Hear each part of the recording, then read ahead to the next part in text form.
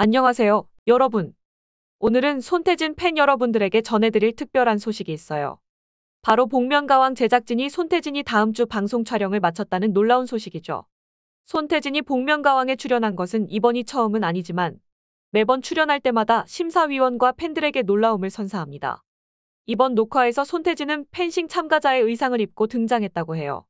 팬들은 의상을 통해 그의 몸매를 알아볼 수 있었지만 촬영장에 있던 심사위원들은 그의 정체를 알아채지 못했습니다.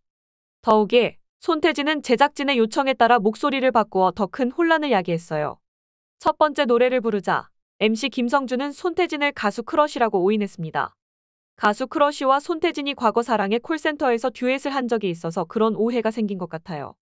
MC 김성주의 심층 분석에도 불구하고 열띤 토론 끝에 손태진은 공식적으로 마스크를 벗고 그의 정체를 드러냈습니다. 심사위원 이윤석은 손태진의 놀라운 목소리에 감탄하며 그의 정체를 알고 싶어 했어요.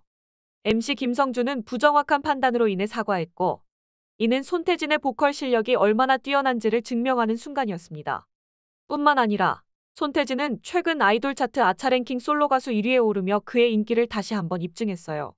그리고 손태진이 광고 모델로 있는 TS 샴푸가 홈쇼핑에서 매진을 기록하며 최고 매출을 달성했다는 소식도 전해졌습니다. 손태진의 활동은 계속해서 주목할 만하며 그의 다음 활동에 대한 더 많은 소식을 위해 저희 뉴스 채널을 구독해주세요. 다음 소식에서 더 흥미진진한 이야기로 찾아뵐게요. 감사합니다.